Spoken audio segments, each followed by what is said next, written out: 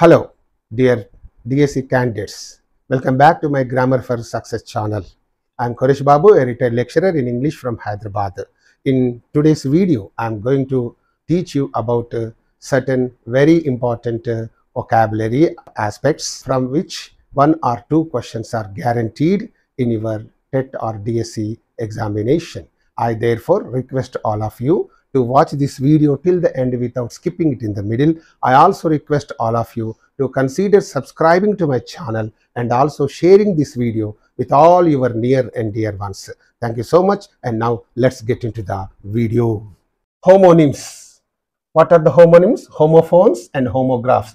These two types of words together are called homonyms. Homonyms means homophones and homographs. Okay. And uh, already you have known about uh, the antonyms and synonyms. Antonyms means opposite words. Synonyms means words having identical meaning. Okay. From these homophones and homographs, uh, you are going to get one or two questions. And that's why please pay a very good attention uh, to the uh, concept of these words okay? Right. What are the homophones? Homophones means what?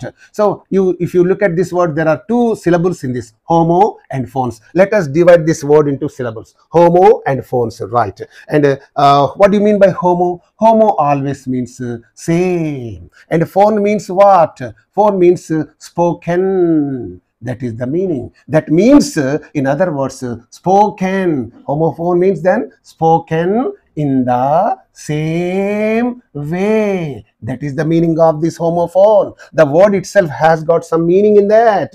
Homophone means spoken in the same way. That means again okay, what's that? Spoken in the same way means what? Uh, pronounced in the uh, in the same way or having the same way. Let me say having the same same pronunciation. What is that? Having the same pronunciation. If they if the words have same pronunciation what happens? They are spoken in the same way the words are being spoken in the same way means they are having the same pronunciation. So that is the meaning of this. That's why the word itself homophone uh, has uh, the clear meaning. Okay? That's why you need not worry about that. And now let us see the definition of this homophone. What is that? Uh, homophones are the words having the same pronunciation but different meaning and different spelling. How? Let us look at some examples. Sun is there sun. Sun and sun. Sun means you know very well. My elder son is in the usa right? And sun is there. Sun is what? The sun rises in the east. That is the sun. And here week is there because of uh, a viral fever. I have become very weak now. Okay. Week means that is that. Week means seven days make a week okay. That is that week and you go to the next set of words. Sea and sea sea is there. The arabian sea. Okay. The lakshadweep are located in the arabian sea. Sea is that. We have several seas. Black seas mediterranean sea caspian sea. There are so many seas you know right? And sea is there. Can you see this very clearly? Can you see? See that is that sea. and here two is there two and two. Two means okay we need two more players for this uh, uh, match right? And two this is too much. Okay it is too bad. Sometimes you make use of this two very frequently like that. And uh, that is that. And you know buy and buy buy means what? I'm going to buy a new cell phone today. Buy. And buy is there. Yes? The man was killed by a tiger. By a tiger. Okay. Air air. These are the two words. See these are all giving the same. They are being pronounced in the same way but they are having different meaning and different spelling. Okay? Right. Air air. So same pronunciation. Okay? Two two. Week week. Sun sun. See see. Bye bye so here air air is there. Air means means the movement of air. The air in uh, uh, New Delhi is very much polluted. You know that very well. Air is there. I am the heir to this property. Heir means one who inherits uh, father's property is called an heir. Heir, you know, heir, heir. You know that very well. And here, steel, steel, and uh, another uh, set of words is there. Okay, steel means the the body of this uh, uh, cooler is made of steel. The body of the car is made of steel. Steel, and this steel that is this steel means what? Don't try to steal my purse. Beware of the pickpockets. They might steal your purse. Steal. Steal. And break, break. Break means what? Breaking into pieces. don't break the law. If you break the law, you'll be arrested. You'll be punished. Okay. And break is there. Okay. When uh, there is a heavy traffic on the road, you must apply the brakes. Brakes, you know that well. See the spelling. Spelling is different and the meaning is also different. But the pronunciation, that means uh, pronouncing the words is the same. Such words are called homophones, right? And now let's move on to learn about the homographs. Okay. One important note is there. What is that note? Words having the same pronunciation and the same spelling but different meanings are also called homophones. This is very important. Words having same pronunciation, right, and same spelling, right, but different meanings are also called homophones. Don't get confused, please. Words having same pronunciation but uh, different spelling, different meanings are called homophones and words having same pronunciation and uh, same spelling but different meanings are, are also called uh, homophones. How? Let us look at some examples. Right is there. Right means right side, you know that very well. I need not write all these things. Right means correct. You are absolutely right. Your answer is right. Right means correct. Right means right side. See, the spelling of these two words is the same. The uh, pronunciation of these words is also the same spelling same, pronunciation same, but meaning is that different. Right means right side, right means correct. And well means all right. And one more word is there, well is there, a deep hole in the earth with water at the bottom. Well, you know very well. Well means all right. How are you? I'm well. How are you doing? I'm doing well. Well is there. Well means all right. And well means what? There is a big well in our village. Well. Sweetwater well. And here these, these two words are being pronounced alike and having the same uh, spelling but giving different meanings. This is the point you have to understand here. And here fair is there. Fair means honest and reasonable. She is a fair girl. She is a, he is a fair man. Fair in dealings. Fair means very honest. Okay, fair is used in that way. Fair means a weekly market. We have a fair every Monday in our village, right? Fair means a weekly market that is called Santa. And the lean, lean means thin is there, lean. He's a lean chap. How is that uh, boy? Sir, he's somewhat lean. Lean means very slim and uh, uh, lean, okay, thin and all that. So lean means thin. That's a, lean means to rest against something. So if you rest against something and stand, sometimes you know we uh, rest our body against some wall, some pole and stand. That is called leaning. Originila Oruguta, something like that in Telugu. So here lean means Sannanaina, Bakkanaina, that is the Telugu meaning. So if you look at all these examples, in all these examples, you find the pronunciation of these words is the same, the spelling of the words is the same, but the meaning is uh, different. And even these words are also called homophones. Please keep this point in your mind. And now let's move on to learn about homographs. Second one, homographs is there. Now you are going to learn about homographs. What are the homographs? Let us divide this word into syllables. Homographs. There are two syllables in that. Homo. Homo means same. And graphs means what? Graph means uh, written. Phone means spoken. That's why it's a phone, telephone. And graph means written, telegraph, telegraph, message. Telegraph means written message, telegraph, paragraph, telegraph, graph. Graph means written. That means, uh, you know, uh, written in the same way. The meaning of this is written in the same way. Written in the same way means what? Yes, written in the same way means words written or having, let me say, having same spelling. Okay written in the same way, same spelling. Spelling is the same, but different meaning and different uh, pronunciation. Okay, they are written the same image they are having same spelling. That is the meaning. So, right, how? Let us look at the definition here. Note, words having same spelling but different meaning and different pronunciation are called uh, homographs. What is that? Words having same spelling but different meaning and different pronunciation. How? Let us look at uh, some examples. Here, tear is there tear means what a drop of water that comes from the uh, from the ice that uh, comes from the ice. So that is called uh, a drop of water. Kanniti binduvu. So kanniti chukka, something like that. It's a tear. Okay, you have to tear. This is the phonetic transcription, tear. And here, this is the tear. Tear means what? To rip or to rend. If uh, a tiger comes across you, it will never leave you. It will rip you into pieces. It will tear you into pieces. Chilchiveyuta. Uh, mm, Chilchita. That is the meaning of this uh, word tear. This is tear, this is tear. Same spelling. Okay. Same spelling, but different meaning, different uh, uh, pronunciation. You go to the next one. That's a bass. Bass. Lowest female uh, singing voice is called bass something like that comes from the uh, from the bottom of the throat.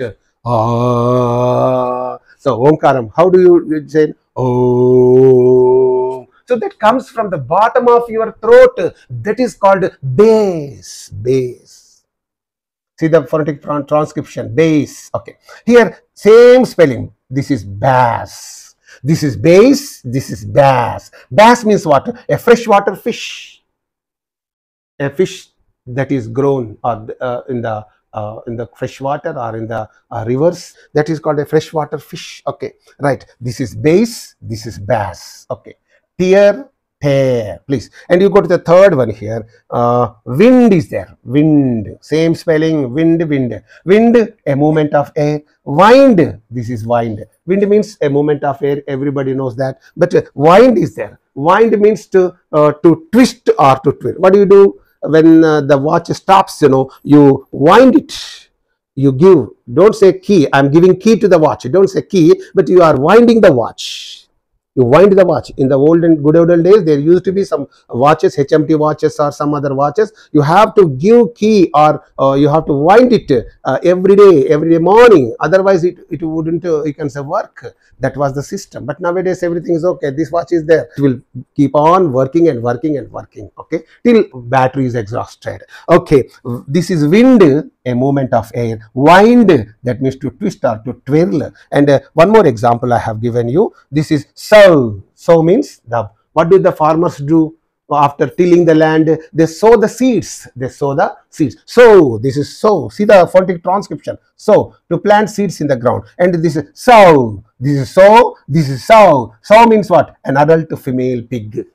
An adult female pig. You know that very well. That's why you know this is called sow this is sow this is sow okay? This is wind. Wind bass bass tear tear see in this way if you look at these words you find the same spelling in these words but they have different meaning and different uh, pronunciation. Such words are called homographs. Please keep these uh, two kinds of words in your mind. What are they? Homophones and homographs. They are together called homonyms. Okay? Homonyms means what? Homophones and homographs. There okay. Now let's move on to learn other uh, important words second one acronyms and allophones this is also a very important uh, uh, vocabulary aspect from your uh, DSC or TET examination point of view. Okay, what are the acronyms? Acronyms means abbreviations pronounced like words. Okay, there are certain uh, abbreviations you cannot pronounce them as words. Okay, okay. For example, MA is there. Do you say ma? No. MLA is there. Then you say MLA or something like that. No. MP is there. Will you say that MBBS is there? Will you say, uh, will you call it MBBS, something like that? You cannot call these abbreviations uh, like, uh, like words. Okay. Uh, that is not possible. But there are certain uh, abbreviations which we can call as words. Okay. Right. What are they? For example, I have NATO. You cannot say NATO. You say NATO. UNESCO. You are pronouncing it as a word. WHO, World Health Organization, NEET, EAMCET, UNESCO. See, if you look at all these abbreviations, you are they are abbreviations, but you are pronouncing them as as if they are words. Okay, as if they are words. So actually, you have to say he is an MA student. You you abbreviation is to be read separately. MA, MLA, MBBS, MP, RMP, something. Okay, here that is there, and uh, these are called such abbreviations pronounced like words are called acronyms. Okay, and you go uh, to learn about the allophones. What are the allophones? Allophones are the different pronunciations or sounds of the same phoneme are called allophones. So you know very well we have 26 letters, but we have 44 uh, sounds, and these sounds are called phonemes these sounds are called, what four sounds are called? Phonemes. Of these, 24 are called uh, consonantal sounds, uh, 20 are called vowel sounds. Of these, you know, of these 20, uh, 12 are called original vowel sounds, but 8 are uh, diphthongs. All this matter, uh, you know very well. So, in this way, we have 26 letters only, but we have 44 sounds and these sounds are called phonemes. And when one phoneme gives uh, two different sounds uh, then they are called allophones. Here i have given you some examples to make you understand. Uh, love fool. So in this you know l is there l is there. In these two words l is there. But in the first word yeah, yeah, no see la you are pronouncing it as la but here l la l same l but in this word it is giving you the sound of la and in this the sound it is giving the sound of l. So these are called the phonemes of l and here next pin is there and spin is there. In this know it is uh, being pronounced pin p p p p when you uh, bring the lips together, you can pronounce that letter P. And here is spin, spin. With some amount of breath, you have to pronounce it spin, pin, spin. Same P, here it is giving pa sound, it is giving fa sound, spin. So these are the phonemes of P. And similarly, what is that? Cut is there, center is there. In this word, C is uh, C has the sound of ka, but in this uh, the uh, this C, this phoneme has uh, the sound of uh, sa cut center. Same c it is in this word it is giving the ka sound it is giving the sa sound. So they are called the phonemes of c. And one more example i think i have given you uh, chance in this you know ch this phoneme is giving uh, the sound of cha. And in this the same phoneme is giving the sound of uh, ka. Chance and chemical. So these are the forms of CH. I hope you have understood these two important aspects uh, uh, that are mentioned on this slide. Acronyms means abbreviations pronounced like words. Allophones means uh, different uh, sounds of the pho same phoneme are called allophones. Here in these examples you have seen that and uh, now let's move on to learn other things. Third one, hypernyms and hyponyms. So you please try to understand these two kinds of uh, uh, words. Okay, hypernyms means what? A hypernym indicates a broader term. Okay, while a hyponym indicates a more specific term. Please try to understand this one. A hypernym indicates a broader term. Okay, a hyponym indicates a more specific one. How? I'll give you. I have given very beautiful examples. Cutlery is there cutlery includes all the items uh, with which uh, you, you, cut the food and eat okay? So that is called cutlery. Cutlery is a uh, wholesale word or a broader term and that is a hypernym okay? It's a broader term. Because it includes what? Let me say this cutlery includes all the implements used for cutting e and eating food like chopstick okay fork, knife, spoon, tablespoon, teaspoon, etc. All these words will constitute what? Cutlery. All these uh, implements make cutlery. Okay. Cutlery is a word, you know, broader word that is therefore called a hypernym. And here fork is there. What is this? This is only a hyponym knife water a hyponym spoon a hyponym tablespoon a hyponym and here you see that you know spoon is what a hyponym Cutlery is a hypernym, is a broader word, and more specific word is spoon is a hyponym. Chopstick is a hyponym, and teaspoon is a hyponym, something like that. Hope you have understood that. The broader word is called hypernym, and the uh, specific word is called hyponym. One more example here I would like to give you. Dog is a hypernym. Dog, dog. There are varieties of dogs several. Dog is a hypernym, okay. And here's a dog stands for all varieties of dogs like Alsatian, Doberman, Hutch, Labrador, Rottweiler, German Shepherd, Bulldog, Cocker, a Spaniel, Shetland, Sheepdog. Say I have gathered all these names uh, from internet only. In order to help you understand, I have brought all these things uh, from various sources. Okay, uh, and dog means all these are dogs. But here this dog stands for all these things. Alsatian is a dog, Doberman is a dog, Hutch is a dog, Labrador is a dog. These are all dogs. But here, this Labrador is there. What is this? This is a hyponym. Okay, and here you see that hutch is what? A hyponym. Dog is a hypernym, hutch is a hyponym because hypernym indicates uh, the broader name given to that. Hyponym indicates uh, the specific name given to that. Hutch is the specific name, dog is a broader name. That is the point you have to understand. And similarly, what uh, vehicle is there? Vehicle means bus is a vehicle, lorry is a vehicle, all these things are there. So it's a hypernym. And then uh, what is that? Uh, bicycle is what? A hyponym. Similarly, river is there. River is a hypernym. And uh, the Krishna, the Godavari, these are all hyponyms tree is there. Tree is a hypernym. And banyan tree, neem tree, these are all specific uh, names of the trees. So in this way, a vehicle is a hypernym, a bicycle is a hypernym. Please try to understand these uh, words and uh, uh, hope I have made it clear to you with these examples. Okay, now what you have understood from this slide is hypernym means broader name given to that particular object or particular thing and uh, hyponym means the specific word or specific name given to that term okay and now let's move on to learn other important things word accent or word stress this is also a very important aspect uh, from your DS and uh, examinations point of view and that's why I have mentioned some most important rules here okay stress uh, words ending in ION this is a suffix have the primary accent on the syllable preceding the suffix from the suffix what is the preceding syllable, that syllable receives the accent. Accent is marked like this.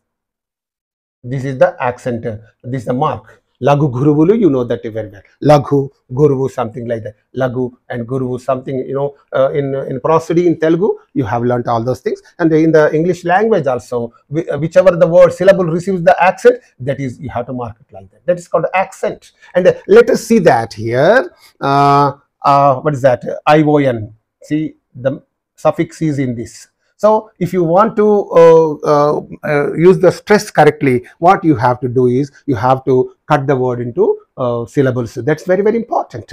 And here application is there. Application. So in this uh, the suffix is there. What is the syllable preceding the suffix means? This is only that. So that's why you have to use the what the, the stress mark on that. Application. How to pronounce it? Application, right. So, civilization is there. First, you cut the word into civil, uh, syllables. Civilization. So, uh, where is the uh, suffix in this syllable? What is the um, syllable preceding the suffix? This one. So, it receives the, uh, what is that? This receives the accent. Okay. You have to say civilization. So, something like that. Composition. Okay composition. So cut the word into syllable. Composition. Where is this uh, suffix in this uh, syllable? So what is the uh, um, syllable preceding the suffix? Z. So that's why on this you have to use this uh, stress mark or accent. Composition. Composition. Converse conversation is there. So in this there is uh, the suffix the syllable preceding the suffix is sa. Therefore conversation. Conversation. Right. And here you see cultivation. Cultivation. This is the syllable preceding this suffix therefore on this. Imagination on this. So you, you can understand all of them. Determination. Examination. So in all these words you know you find them very clearly. Introduction. Qualification. Okay? Qualification. I think this is wrong okay qualification typographical mistake is here. Okay here you see in this way let me read these words uh, once again uh, to make you understand uh, the, the importance of stress. Application civilization composition conversation cultivation imagination determination examination introduction qualification so this is how the Britishers and the Westerners pronounce these words. And you go to the next slide.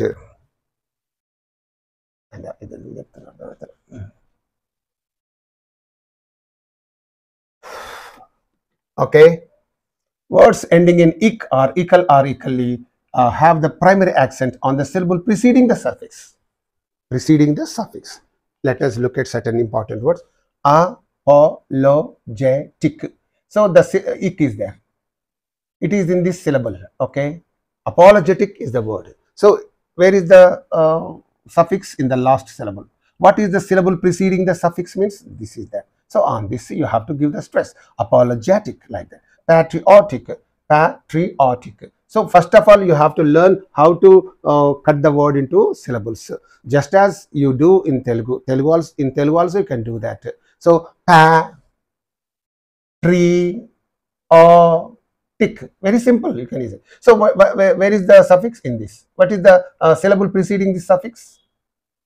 So there, patriotic like that. And you go to the next one. Grammatical. Grammatical. So here you see that you know equal words. Equal. Where is this suffix? In this syllable. In this syllable. Okay in this and in this. In these two syllables, this uh, uh, suffix is there. And therefore, what is the syllable preceding the suffix means? This one only. Therefore, grammatical, scientific. So, in this ik is there. Okay, therefore, the syllable preceding the suffix is t. That's why scientific. Scientific. Electric. Again, ik word is there. This is the second word preceding the syllable preceding the suffix. Electrical. So, ical is there the suffix is in this syllable and in this syllable. Therefore, what is the uh, syllable preceding the suffix means this one only. Therefore, it's electrical, electrical, right. And the next, uh, um, again, uh, ical is there. There's a word uh, with ical. Political. So, in this and in this, in these two uh, syllables, this suffix is there. So, what is the pre uh, syllable preceding the suffix means? This one only. Therefore, political what should you say? Political right. And here then ically is there. Ically so where is this ically politically means politically. Okay. Yes uh, in these three syllables this suffix is there. And therefore what is the syllable preceding the suffix means only this? That's why you have to say politically. Politically you have to say that. And you go to the next one sympathetic. So ik again ik word is given so what is the syllable preceding the suffix means? Again, the simple when sympathetically, equally is there. Equally is the word. So uh, where to use the uh, stress then means equally is there. E in this syllable, in this syllable, in this syllable. In this C, three syllables, uh, this equally is there. The suffix is there. Therefore, what is the uh, syllables preceding the suffix means only this one. That's why I say sympathetically. Sympathetically. So you have to say that. Now let's move on to learn other things. Third one is there. Words ending in et are accented uh, on the syllable preceding the suffix. That is on the third syllable from the end or anti-penultimate syllable, whatever you can say that. And here you see that activity. Et is there. Et is the suffix. Where is the uh, suffix?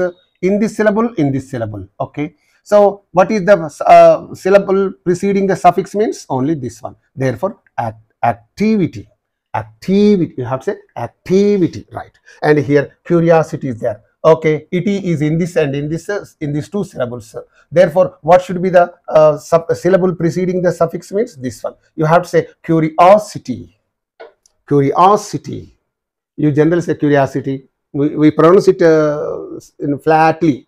Okay flatly we pronounce the curiosity something. But uh, in the western uh, western countries people don't do that. Curiosity if you just say that you know it has got its own glamour its own beauty and all that okay? I say we say mother father simply we speak them uh, flatly. But uh, it's a mother my mother my father they stress it. My mother is at home.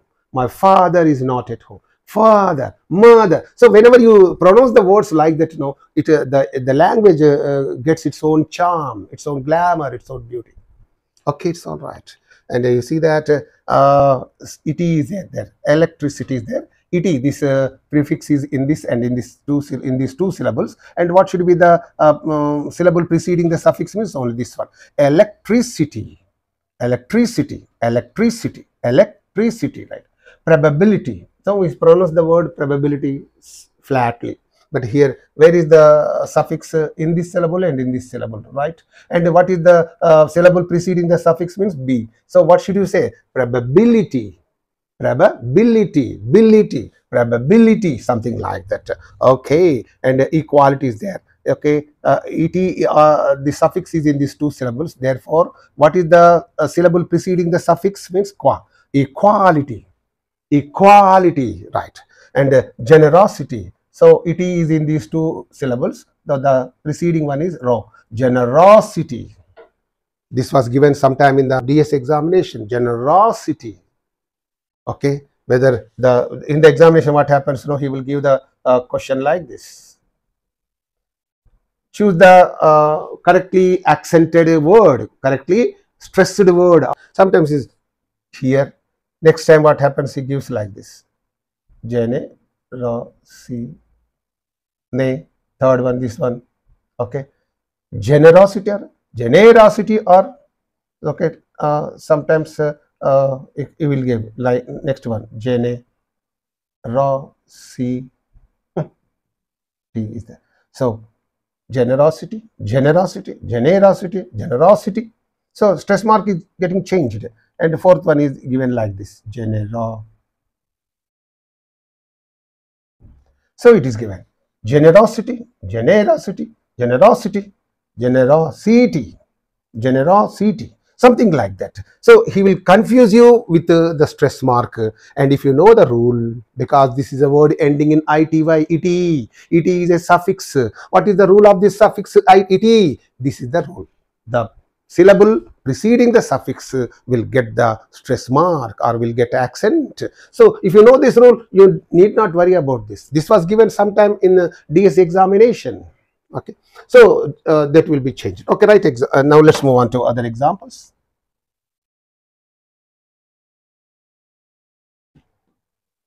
Morality. So morality, necessity. So you can understand that originality. So that's why he says on the third syllable from the end. Directly he has said on the third syllable from the end. One, two, three, third one. One, two, three, third. One, two, three, third. One, two, three, third. One, two, three, third. Directly he has said on the third syllable from the end. Don't worry about that. If you don't understand the syllable preceding the suffix, then you don't. So, but you have to divide the word into syllables. That's very, very important. Right.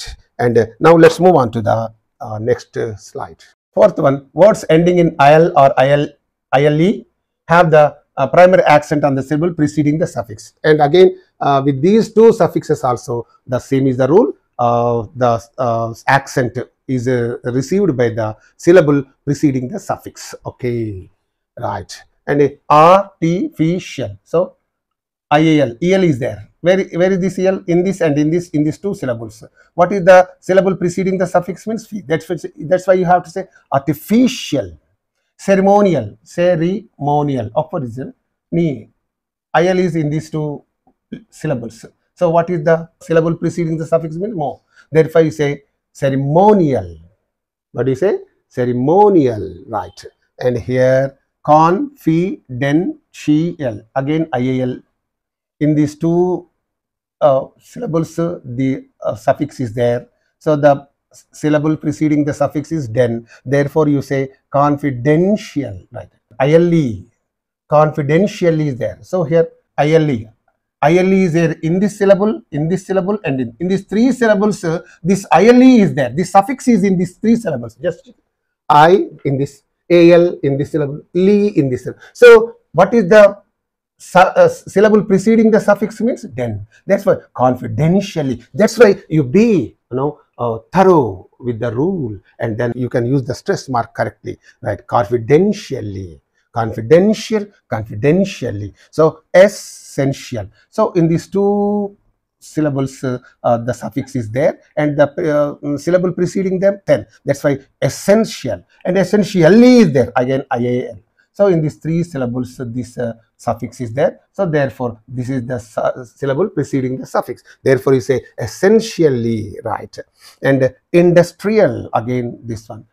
Pre presidential, in this you know here you can automatically understand that very interesting and official okay memorial so in in these three two syllables in these two syllables okay in these two syllables so, so like this. Very simple, very easy. If you follow this rule, you can easily understand this. Uh, right. And now let's move on to the next one.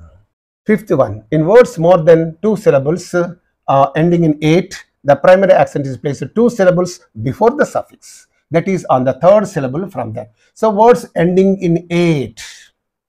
words ending in 8 having more than two syllables. It must end in 8 but it should have more than two syllables. That's the condition. Then what happens now? The, the stress mark is used on the third syllable direct. No problem at all. Here you see complicate, complicate. You have cut the word into syllables three.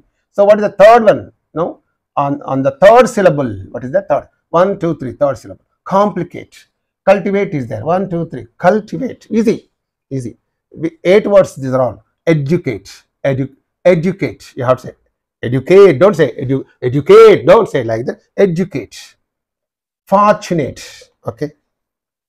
Separate. Adjective. Separate. Separate. In a verb also, the in the same way it's pronounced.